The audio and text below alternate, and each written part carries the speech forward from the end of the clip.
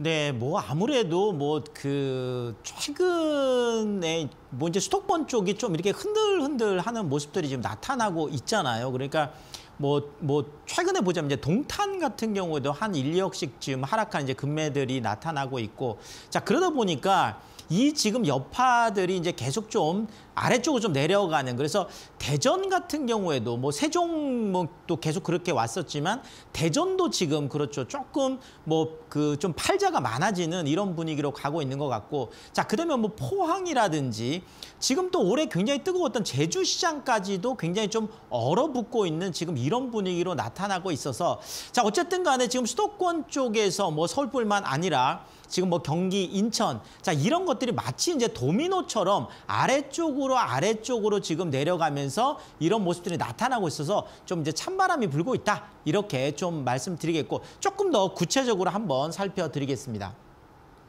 자 일단 뭐 가장 그렇죠. 우리가 부동산 시장이 뭐 훈풍이 불 거냐 찬바람이 불 거냐 이거는 서울 시장을 우리가 늘 바로미터로 보기 때문에 서울 시장부터 제가 좀 체크를 해드리면 자 지금 서울 같은 경우에 지금 매매 수급 지수. 자 제가 계속 이 매매 수급 지수를 말씀드리는데 이 매매 수급 지수를 우리가 잘 봐야 되는 것은 바로 이 매매 수급 지수가 100을 기준했을 때 그렇죠. 100보다 이게 넘어가느냐 100 아래쪽이냐가 굉장히 중요합니다. 자, 왜냐하면 100보다 많다라는 것은 아, 내가 부동산을 사겠다라는 사람이 팔겠다는 사람보다 이제 많다는 뜻이다 보니까 사겠다는 사람이 많으면 당연히 가격이 올라갈 수밖에 없는 거고요. 만약에 100 아래쪽이어서 사겠다는 사람은 적은데 팔겠다는 사람이 많으면 당연히 그렇죠. 부동산 가격이 떨어질 수밖에 없기 때문에 우리가 계속 이 부동산 시장의 가격 동향을 예측하려면 이 매매 수급 지수라는 것을 계속 선행 지수로 이제 볼 수밖에 없는데 이 부동산 매매 수급 지수가 그렇죠. 95.2까지 지금 떨어져 있는 이런 상황이 되겠습니다. 자, 지금 이 95.2라는 수치는 최근 약 한 1년 7개월 만에 좀 가장 좀 낮은 수치다. 자, 그러면 일단 뭐 우리가 이렇게 수요 사겠다는 사람이 줄은 거 뭐 가장 좀 손쉽게 얘기할 수 있는 것들이 뭐 금리 상승이라든지 아니면 뭐 대출 규제 압박 뭐 이런 부분들 아니면 또 앵커 오프닝에서 잠깐 얘기했던 그렇죠. 뭐 지금 뭐 종부세뿐만 아니라 이제 보유세에 대한 부담들이 커지니까 이제 그런 부분들도 있겠지만 실질적으로 이제 제가 판단할 때는 부동산은 실제 심리에 엄청난 영향을 받거든요. 근데 이 부동산 시장에 지금까지도 뭐 금리 인상에 대한 부분들 아니면 대출 압박에 대한 부분들 수많은 규제들이 있었음에도 불구하고 계속 지금 상승 랠리를 펴왔는데 왜 지금 와서 이러느냐. 어, 뭐 많은 부분이 있겠지만 지금은 심리 자체가 조금 얼어붙고 있는 그러니까 지금 계속 상승에 대한 기대감들만 계속 있다라고 한다라면 그렇죠. 이렇게 심리가 어려붙지 않는데 지금 또 조정에 대한 이야기가 나오다 보니까 매수자들 입장에서는 좀 더 기다려보겠다는 사람들도 있을 거고 아니면 아예 지금 뭐 수요 자체를 좀 포기하는 이런 분들도 지금 나타나다 보니까 수급 지수가 좀 아래쪽으로 지금 계속 떨어질 수밖에 없는 이런 상황이고 자 이렇게 매매 수급 지수가 100 이하로 지금 계속 뭐 아래쪽으로 아래쪽으로 내려가다 보니까 당연히 그렇죠. 가격 쪽에서도 가격 상승률 자체가 0.1까지 지금 떨어졌던 게 이번 주 들어서 그렇죠.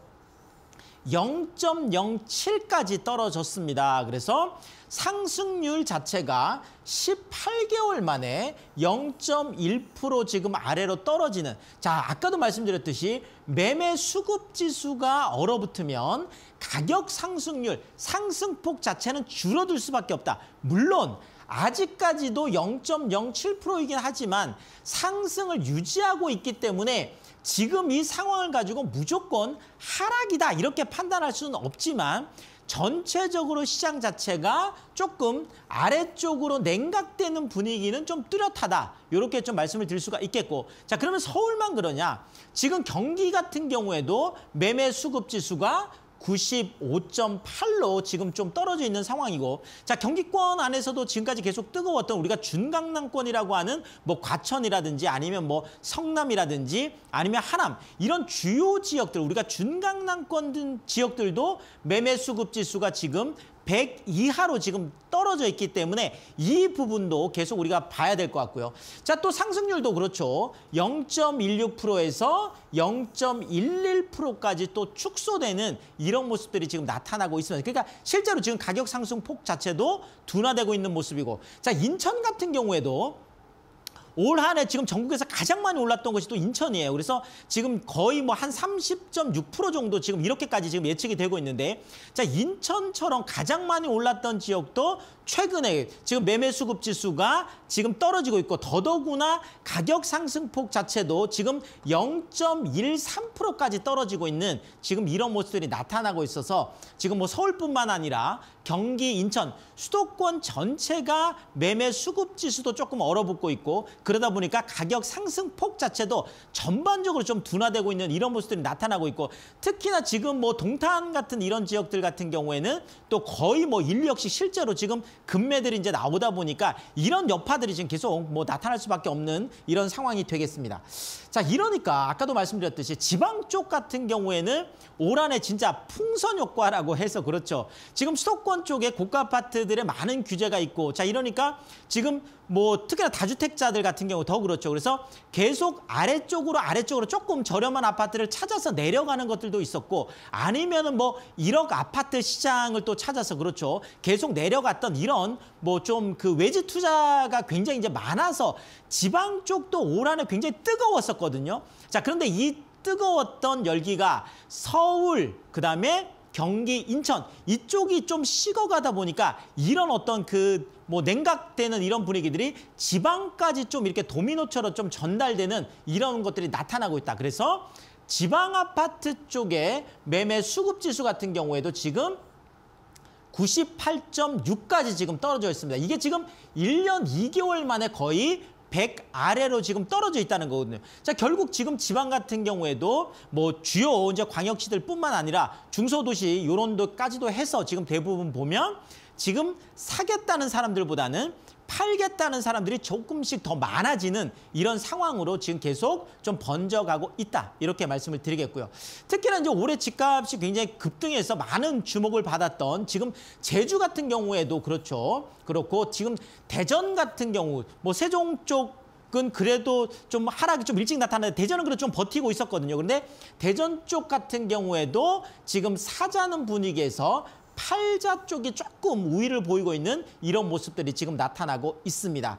자, 결국 이렇게 투자 열기가 좀 식으면 지방에서는 어떤 그 현상들이 나타나고 있냐면 바로 아파트 쪽에 신규 아파트 쪽에 미분양이 나타나는 것들이 꽤 많이 있어요. 그래서 지금 미분양 공포, 미분양 악몽이 다시 좀 살아나고 있어서 지금 뭐 대구뿐만 아니라 최근에는 포항 같은 경우에도 청약 지금 미달 사태가 나타나고 있어서 자 앞으로 또 지방 부동산들이 어떻게 갈지 좀 우리가 계속 좀 지켜봐야 될 것 같습니다. 자 제가 조금 정리를 해드리면 지금 어 변곡점 그러니까 어떤 하락 쪽으로 가고 있다. 뭐 좀 쉽게 말씀드려서 우리가 변곡점에 달했다라는 게 그냥 쉬운 말로 지금이 꼭지점이다. 지금이 상투다. 이렇게 지금 보는 시각이거든요. 자 그러면 지금 뭐 대부분이 다 변곡점에 달했기 때문에 무조건 하락할 거냐? 또 그런 건 아니에요. 참 시장에서 변곡점에 달았다는 뭐 그런 인식들도 많지만 아니다. 지금은 일시적인 숨고르기 상태이기 때문에 조금 더 기다리다 보면 추가 상승을 할 수밖에 없다. 자, 그런데 이게 지금 내년 부동산 시장을 전망하는 지금 뭐 많은 그런 뭐 민간기관, 뭐 정부기관도 마찬가지고 내년에도 부동산이 올라갈 것이라는 또 전망이 지금 계속 많이 나오고 있거든요. 자, 결국 좀 헷갈리긴 해요. 지금 변곡점이 왔기 때문에 지금 떨어진다는 이야기도 있고 아니다. 지금 숨고르기니까 조금 이러다가 다시 추가 상승할 거다. 이런 계속 지금 논란이 되고 있고 특히나 지금 이런 어떤 그 변곡점 상황이다. 뭐 이 논란을 계속 가속화시키는 이유가 바로 그렇죠. 불장은 지금 조금 꺼진 상태는 확실해요. 자, 그렇지만 아직까지 좀 온기가 많이 남아있고 이 온기가 지금 남아있는 큰 이유 중에 하나가 결국은 지금 그렇죠. 내년 3월로 예정되어 있는 이 바로 대선 쪽에서 어떻게 지금 될 거냐. 그렇죠. 아까 뭐 앵커 오프닝 얘기했던 바로 그 뭐 공시지가 문제라든지 이런 부분도 뭐 지금 조정을 하겠다라는 지금 얘기가 지금 나오고 있고 특히나 지금 다주택자 같은 경우에 양도세 지금 뭐 지금 뭐 감면이든 아니면 뭐 중간 폐지든 어쨌든 간에 그렇죠. 대선이 끝나고 나면 부동산 시장에 많은 변화가 있을 거기 때문에 이것이 또 한 번 뭐 그뭐 중반기 아니면 하반기 쪽에는 또다시 엄청나게 올라갈 가능성들이 있 다라는 얘기가 지금 많이 또 있어서 요 부분도 우리가 계속 좀 챙겨봐야 될 것 같습니다. 자, 결론적으로 지금 상황은 집을 사겠다는 분들도 아니면 집을 팔려고 하는 모든 분들이 그렇죠. 고민이 굉장히 깊어지는 그런 연말 연시가 되고 있다. 이렇게 정리를 드리겠습니다.